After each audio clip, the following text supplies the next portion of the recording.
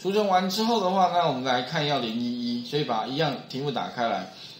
那苗栗跟 宜兰的总和啊，你会发现哦，哎，苗栗指的是什么呢？有苗栗开头的，宜兰指的是宜兰开头，哎，两个，所以这个地方的话呢，要怎么处理两个两个县市啊？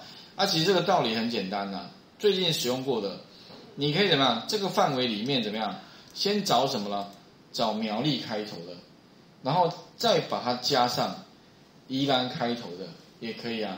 哦啊，所以啊，第一个这边的话，你可以啊，这个地方哈，你打一个一样嘛哈，我们打那个苗栗开头的，所以这边的话你就打一个哦苗栗开头就一个星号，记得这个地方，嗯，好像问用问号也可以，只是说你会发现问号有一个、两个、三个、四个，好麻烦，所以干脆用这样子。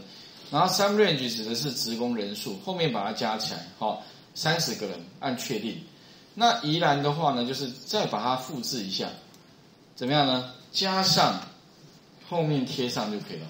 那把什么呢？把这个范围里面的苗栗改成什么呢？改成宜兰，这样就大功告成了。OK，好，打个勾，哎，四十二个，该可以理解了，哈，嗯。